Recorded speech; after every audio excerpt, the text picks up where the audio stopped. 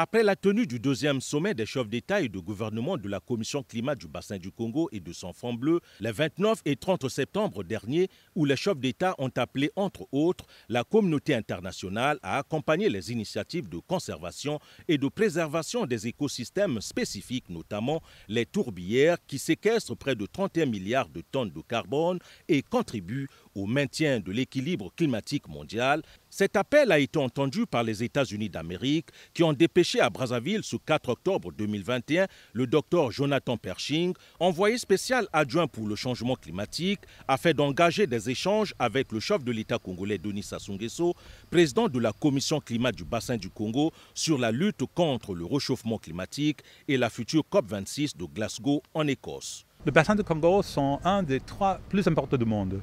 Donc euh, le Congo, l'Amazonie et le, euh, secteur forêt d'Indonésie et le pays euh, dans cette partie du monde.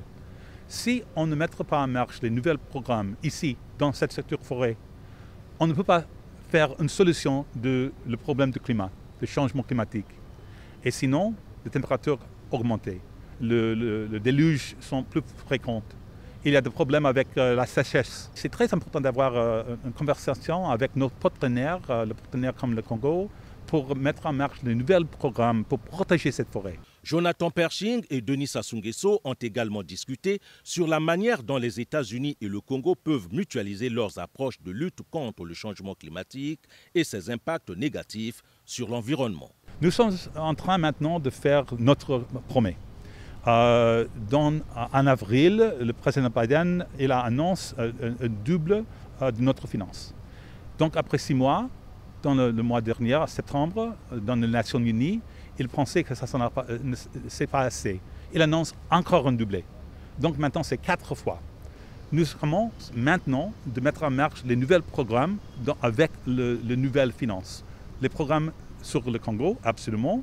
Le programme de forêt global, mondial. Et aussi les programmes dans d'autres secteurs. Le programme dans l'industrie, le transport, l'énergie. Pour tout, avec les pays en développement. On rappelle, les États-Unis sont impliqués dans de nombreux projets visant à préserver les écosystèmes du bassin du Congo, l'une des plus importantes sources d'oxygène pour la survie de la planète. Le chef de l'État Denis Sassou s'est entretenu également avec le PDG du groupe ENI, Claudio Descalzi. Les perspectives d'investissement de cet opérateur pétrolier au Congo étaient au centre de cette rencontre. En effet, Claudio Descalzi est venu présenter au président Denis Sassou Nguesso le projet de production du biocarburant à partir des produits de l'agriculture.